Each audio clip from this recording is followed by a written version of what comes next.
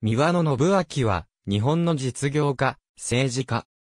衆議院議員、国民の生活が第一副幹事長、選挙対策委員会副委員長、金美食品株式会社社長、愛知県議会議員、新党絆副代表などを歴任した。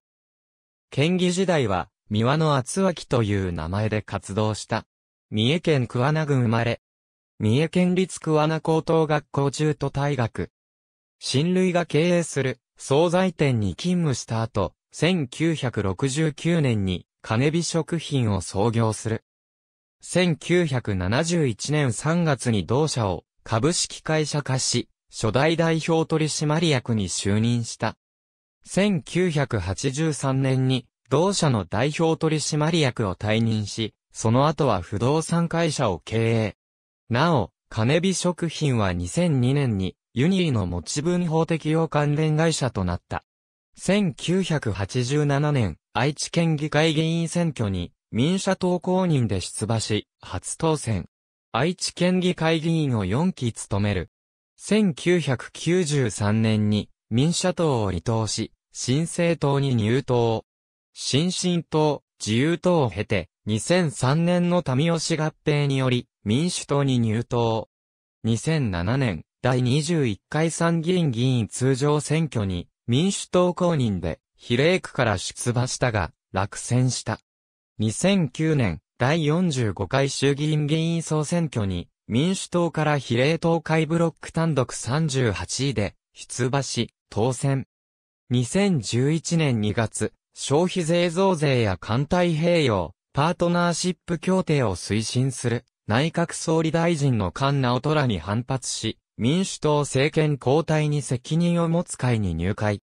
民主党政権交代に責任を持つ会に参加した議員は民主党会派からの離脱を届け出たが、民主党幹事長の岡田克也から拒否された。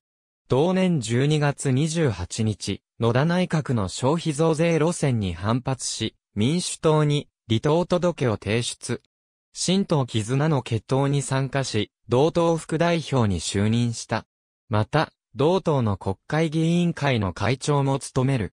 2012年11月6日、新党絆の緊急幹事会にて、将来的に国民の生活が第一に合流する方針が決定された。また、先行合流希望者についても承認することが決定された。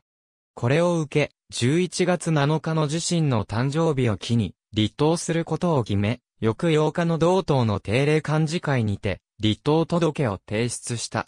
同日、国民の生活が第一に、入党届を提出した。同月12日の定例常任幹事会で、入党の可否が審議されると予想されたが、同党幹事長の東正蔵らにより、持ち回り常任幹事会で審議され、8日中に入党が承認された。同党の副幹事長、及び選挙対策委員会の副委員長に就任する。